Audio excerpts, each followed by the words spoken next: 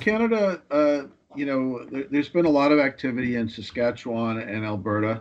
Um, you know, there is, uh, I'd have to uh, total it up quickly uh, in my mind, but, uh, you know, there's some something like 150 million feet a year uh, of production right now in, in, that order. there are a number of, of plants. North American Helium has five plants as of their most recent press release, they're producing 110 million feet.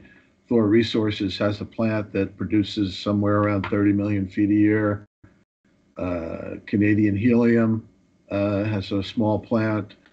Uh, I think Royal Helium is is getting close to production. So yeah, it's been very active.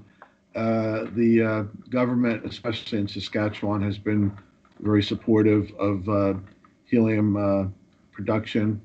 Uh, they put together a, a plan to uh, uh, try to be uh, pr- uh, producing uh, 10% of the world's helium, I think by 2030.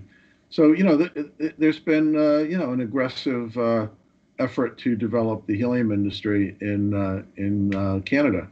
Um, you know, it's, is it possible that that 10% goal could be achieved?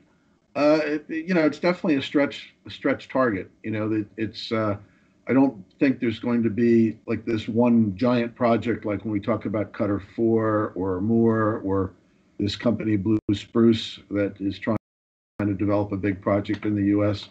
Uh, Canada will uh, a large number of small projects, uh, and uh, you know that that makes it a little bit uh, you know, you can't point to this, well, here's this one big reserve of helium in one place, and we just need to build one plant to get to that goal. So it, it will take quite a lot of activity uh, uh, and continued support from the government to uh, to get to a, a pretty ambitious uh, goal.